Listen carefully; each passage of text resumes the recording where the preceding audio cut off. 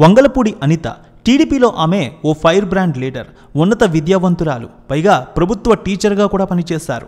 ప్రజలకు సేవ చేయాలనే ఉద్దేశంతో రాజకీయాల్లోకి వచ్చానంటారు ఆమె. టీడీపీ మహిళా నాయకురాల్లో రాష్ట్రంలో ముందు ఆమె పేరే వినిపిస్తూ ఉంటుంది.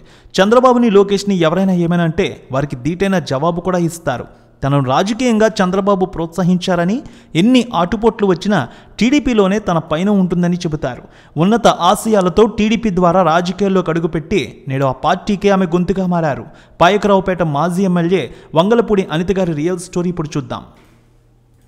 వంగలపూడి అనిత పంతొమ్మిది వందల డెబ్బై తొమ్మిది జనవరి ఒకటిన విశాఖపట్నం జిల్లా ఎస్. రాయవరం మండలంలోని లింగరాజుపాలెం గ్రామంలో వంగలపూడి అప్పారావు గారి దంపతులకు జన్మించారు. అనిత తండ్రి అప్పారావు గారు గవర్నమెంట్ స్కూల్ ప్రధానోపాధ్యాయుడిగా పనిచేశారు. అనిత ప్రభుత్వ ఉపాధ్యాయురాలు. చిన్న వయసులోనే ఆమెకు ప్రభుత్వ టీచర్గా ఉద్యోగం వచ్చింది. అలా ఉద్యోగం చేస్తూనే రెండు వేల తొమ్మిదిలో ఆంధ్ర యూనివర్సిటీ కరస్పాండెంట్ కోర్సులో ఎంఎస్సి పూర్తి చేశారు. అలాగే అంబేద్కర్ ఓపెన్ యూనివర్సిటీ నుంచి ఎంఈడి కూడా పూర్తి చేశారు. దాదాపు పన్నెండు సంవత్సరాల పాటు టీచర్గా పనిచేస్తారు ఆమె.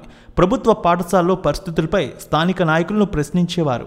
రాజకీయాలపై ఆసక్తితో ముప్పై నాలుగు సంవత్సరాల వయసులో ప్రభుత్వ ఉపాధ్యాయురాలుగా రాజీనామా చేసి రాజకీయాల్లోకి వచ్చారు. అనిత డిగ్రీలో ఉండగానే వాళ్ళ అన్నయ్య గారికి స్నేహితుడైన కొసర శివప్రసాద్ గారు పరిచయం అయ్యారు అది ప్రేమగా మారడంతో ప్రేమ వివాహం చేసుకున్నారు ఆమె. ఆమెకు ఒక కుమారుడు ఒక కుమార్తె. ఇక ఆమె రాజకీయ రంగ ప్రవేశం చూస్తే రెండు వేల పన్నెండులో గ్రామస్థాయి రాజకీయాల్లో అడుగుపెట్టిన అనిత ఆ తర్వాత తెలుగుదేశం పార్టీలో క్రియాశీలకంగా మారారు. తన వాగ్దాడితో అందరినీ ఆకట్టుకుంటున్నారు. అలా తెలుగుదేశం పార్టీ అధినేత చంద్రబాబు ఆమెను ప్రోత్సహించారు రాజకీయంగా. రెండు వేల పద్నాలుగు ఎన్నికల్లో విశాఖ జిల్లా పాయకరావుపేట నుంచి ఎమ్మెల్యేగా పోటీ చేయడానికి అవకాశం ఇచ్చారు. ఆ ఎన్నికల్లో సమీప వైసీపీ అభ్యర్థి చంగల వెంకట్రావుపై రెండు వేల ఎనిమిది వందల ఇరవై ఎనిమిది ఓట్ల మెజారిటీతో గెలిచి తొలిసారి ఎమ్మెల్యేగా అసెంబ్లీలో అడుగుపెట్టారు అనిత. రెండు వేల పద్దెనిమిదిలో తిరుమల తిరుపతి దేవస్థానం టీటీడీ బోర్డు సభ్యురాలుగా నియమించారు.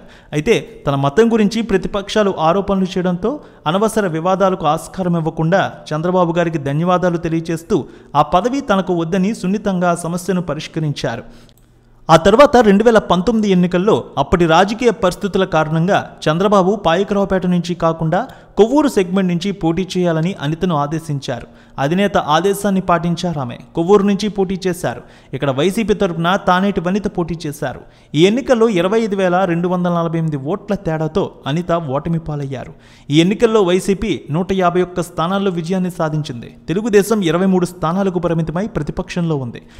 ఇక రెండు వేల ఇరవై ఒకటి జనవరి ముప్పైన ప్రతిష్టాత్మకమైన ఆంధ్రప్రదేశ్ రాష్ట్ర తెలుగు మహిళా అధ్యక్షురాలుగా అనిత నియమించారు చంద్రబాబు. తనపై అధినేత పెట్టుకున్న నమ్మకాన్ని నూటుకు నూరు శాతం నిలబెడుతూ తెలుగుదేశం పార్టీ గొంతుని ఎలుగెత్తి చాటుతూ ఎలాంటి పరిస్థితుల్లో కూడా వెనకడుగు వేయకుండా ముందుకు సాగుతున్నారు ఆమె. ఇక ఆమె ఆస్తులు కోటి నుంచి కోటిన్నర రూపాయల వరకు ఉంటాయంటారు.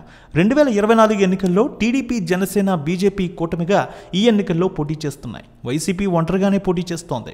రెండు వేల ఇరవై నాలుగు ఆంధ్రప్రదేశ్ అసెంబ్లీ ఎన్నికల్లో భాగంగా అనిత అనకాపల్లి జిల్లా పాయకరావుపేట నియోజకవర్గ టీడీపీ అభ్యర్థిగా బరిలోకి దిగుతున్నారు.